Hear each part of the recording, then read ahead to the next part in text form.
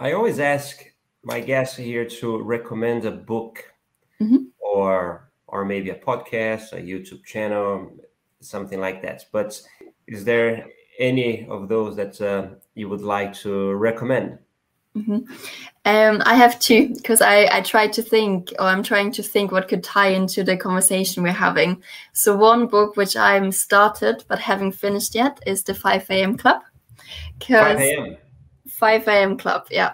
Uh, it's a book which um, I read a lot about on social media.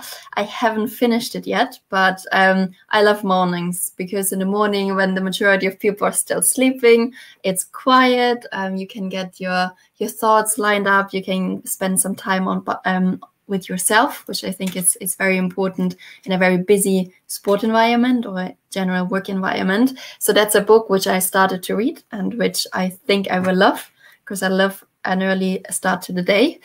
Um, and then what I love reading as well on, on LinkedIn is the Harvard uh, Business Review. I think they have super nice short articles, um, which are always a nice um, idea for um, for a thought of a day, really. And one which really sticks sticks out and which ties in back to our conversation is: um, should jobs be basically tailor-made to people or should the people tailor-made to the jobs. And i think this was really a really interesting one when we think about do we need to think in a box or can we step outside the box? So um and what, and what do you think?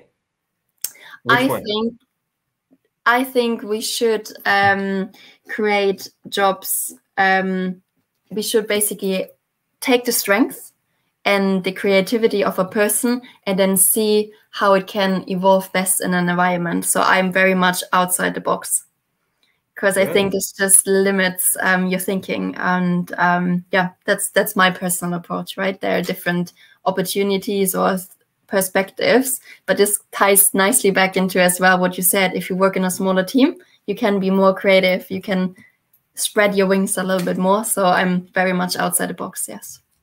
Thank you.